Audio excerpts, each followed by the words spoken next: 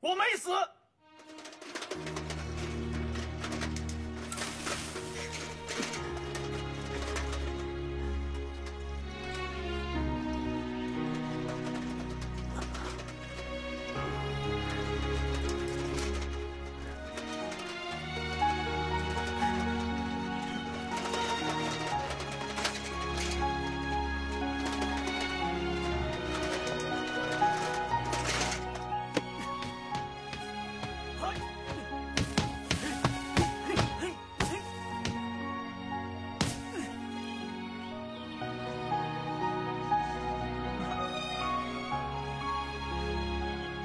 小龙，爸，小龙，你把衣服穿上跟我走，我带你去见一个人。见谁啊？叶大师。真的？是。你不是一天到晚缠着我，让我给你引荐大师，教你学武术吗？嗯。你少伯临走的时候见过叶大师了，但是叶大师是不会轻易收徒弟的。我不怕这个，只要你让我学武术，我怎么样都可以。你现在就要从脚下练起，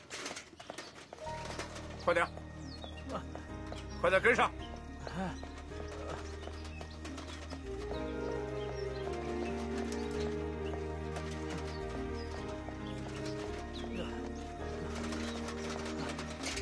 跟上，快点！爸，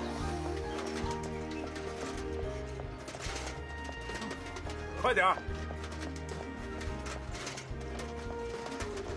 哎，快点！跑不动了。小龙，要坚持。我我真的跑不动了。难道你不想见叶大师了吗？我想。好，想见就坚持，跑。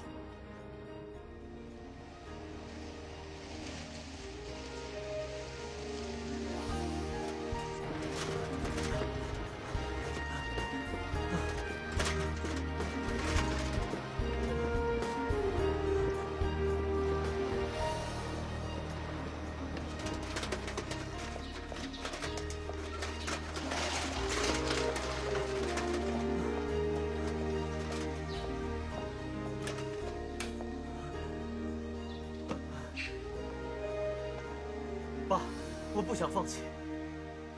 小龙，你没有放弃，好样的！自己站起来。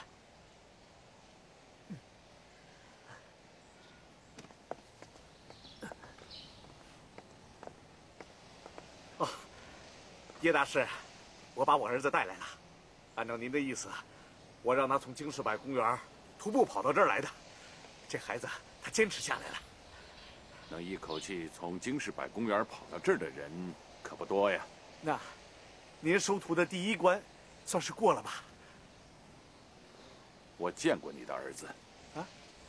你见过我儿子？对，我看过你们父子主演过的电影，那是好几年前的事了。我见过你儿子和一位电影院的看守打架，那时他才七八岁吧。一个七八岁的孩子，居然敢跟一个膀大腰圆的大人打架，够顽劣吧？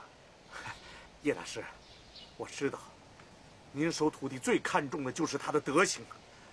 我儿子虽然他顽劣，但是这孩子不但顽劣，恐怕还有点小名声吧。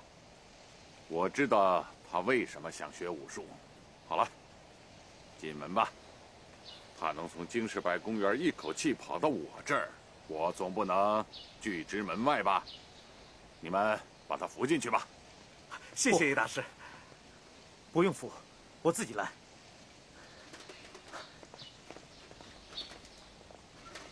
叶大师啊，我这个儿子啊，这别的事不往心里去，一心惦记着习武。他小时候就喜欢打架斗殴，惹是生非。